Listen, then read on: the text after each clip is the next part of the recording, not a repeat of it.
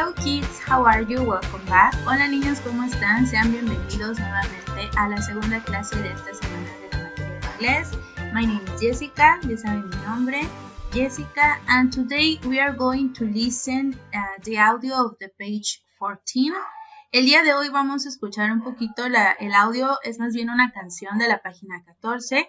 Por el día de hoy no vamos a escribir nada, únicamente vamos a eh, checar la letra y eh, escucharlo en inglés. Posteriormente les voy a traducir al español y esto va relacionado a el vocabulario que hemos estado viendo hasta el día de hoy, que son los eh, útiles escolares. So, we are going to listen. Así que vamos a escuchar. Put it in your pencil case.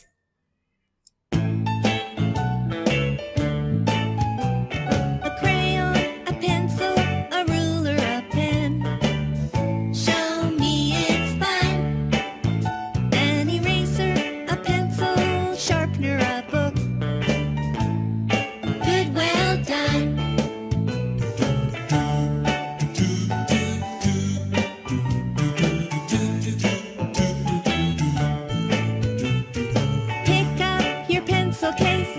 Let's play. Put your crayon in your pencil case. Yes, okay.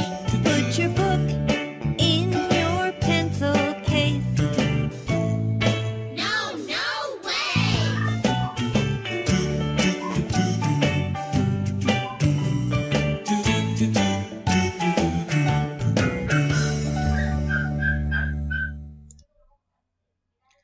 Okay. So in Spanish, uh, this is the traduction. Así que en español la traducción es pon esto en tu lapicera. Y vamos a ir viendo realmente cuáles de los útiles escolares podemos colocar en nuestra lapicera, en nuestro pencil case.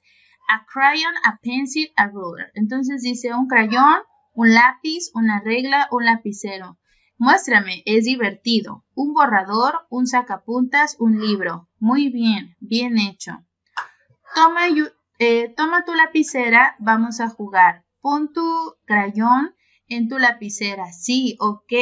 Ahora pon tu libro en tu lapicera. No, de ninguna manera. Entonces, obviamente hay útiles escolares más grandes como el notebook o el book, que esos van directamente en the backpack, en la mochila. Y hay otros más pequeños como el eraser, the pencil, que ese sí podemos colocar en nuestra lapicera. Entonces, espero que mientras hayas escuchado la canción hayas identificado el, eh, algunos de los útiles que hemos estado viendo hasta el día de hoy. Recuerda seguir practicando en casa, repite las palabras hasta que eh, se te queden de memoria y los felicito por tomarse el tiempo para ver esta segunda clase. So, I see you the next week.